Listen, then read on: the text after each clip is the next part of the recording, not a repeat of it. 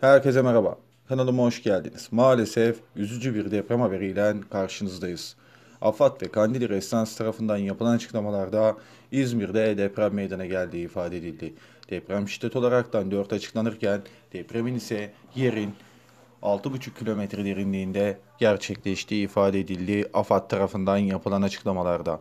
İzmir, Menderes, Özdere'ye 23 kilometre, Seferihisar, Ürkmez'e 24,5 kilometre, Menderes, Gümüldüre 26 kilometre, Seferihisar, Doğanbey, Payamlı'ya 26,5 kilometre mesafe uzaklıkta gerçekleştiği açıklandı. AFAD ve Kandili Restans tarafından yapılan açıklamalarda.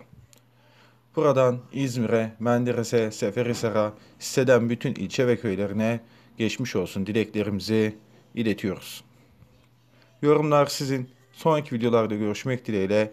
Şimdilik hoşçakalın. Allah'a emanet olun.